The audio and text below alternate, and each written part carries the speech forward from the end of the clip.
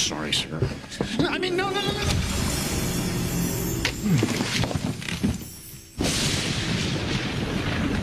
Satisfied?